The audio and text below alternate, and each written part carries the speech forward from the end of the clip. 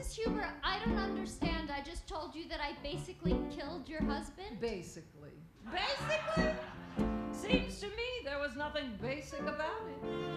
You knew about that small bequest, you sly puss. And you pressed and held for what was it again? Five minutes?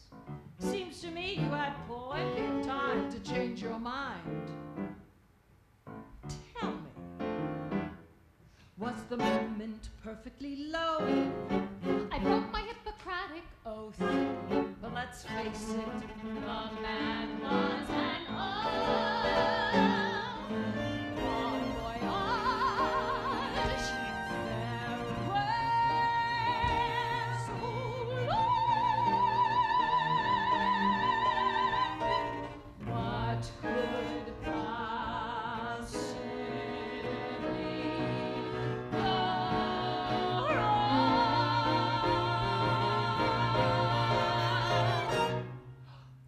It will be so much fun. It will be such a thrill.